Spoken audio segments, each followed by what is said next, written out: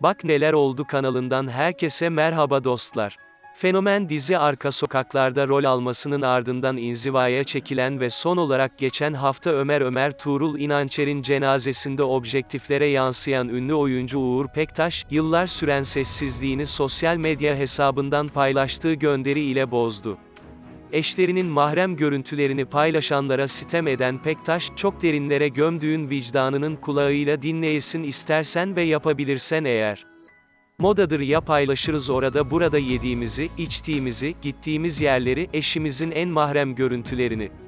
Neden paylaşıyorum demez paylaşan kişi, sadece rapor verir gibi o anını nakleder birilerine, içindeki hangi boşluk bunu yaptırır?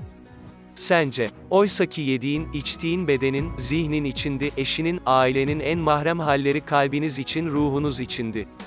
Dedi.